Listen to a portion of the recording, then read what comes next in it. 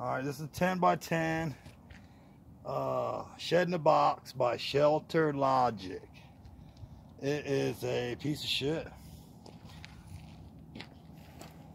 So, it was a brand new tarping, but it had a seam right here. Dustin gave me this, and it had a seam right here. And it took two rolls of duct tape to fix it.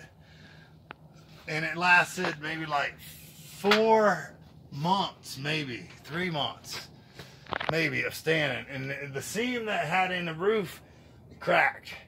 So, I mean, I got it as like a bonus uh, tip from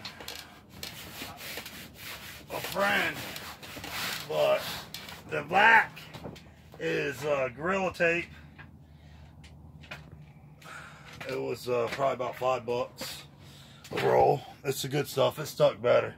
The white was just duct tape, probably like three bucks, four bucks. But uh, I, I, would never, I'd never, never spend any of my money on uh, Shed in a Box from Shelter Logic because uh, I'm rubbing in duct tape to keep the seam from cracking. And I hope somebody from Shelter Logic sees this video. And I am not reaching out to them because I got it for free as a tip. But I am reaching out to the people that's going to buy their stuff with a seam in the roof of a tarp material. Are you kidding me? It's 10 by 10 shed. You can make you can make it without a seam. Literally, this white line right here of white duct tape is a crack in the seam. So,